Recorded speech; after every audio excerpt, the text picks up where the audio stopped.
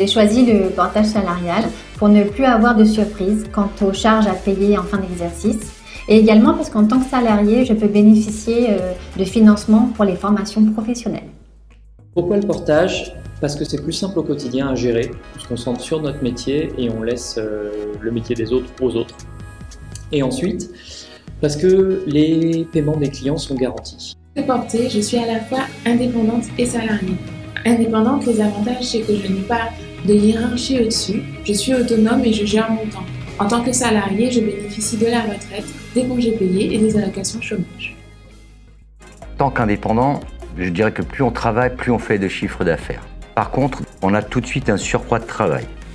Par exemple, comme l'URSSAF, la caisse de retraite, les impôts. À cela, il faut rajouter euh, les erreurs, les oublis, les doublons, les recommandés, les factures impayées et naturellement la comptabilité à faire. Bref, pendant ce temps-là, on ne génère pas de chiffre d'affaires. Par conséquent, on perd du temps et de l'argent. Le choix de devenir un salarié porté était une opportunité pour moi. Pourquoi? Parce qu'en fait, je fais moins d'administratif et je peux consacrer plus de temps à faire autre chose. Et enfin, euh, le, fait de le pouvoir de partager, de communiquer avec d'autres salariés portés ouvre des perspectives de travail et des opportunités euh, professionnelles. Mais surtout, l'équipe de Freedom est véritablement à l'écoute.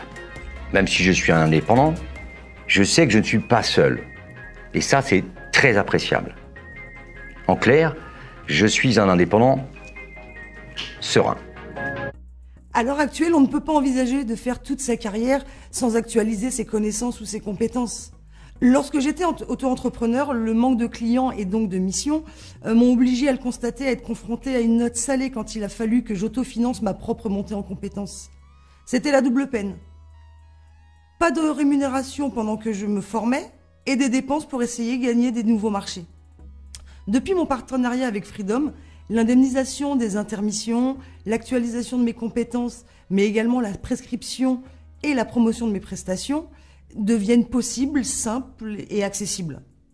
D'ailleurs, à l'heure actuelle, je me forme sur les différents changements liés aux ordonnances Macron afin de les intégrer au fur et à mesure euh, dans mes interventions sur la législation du travail, les IRP la lecture du bulletin de salaire.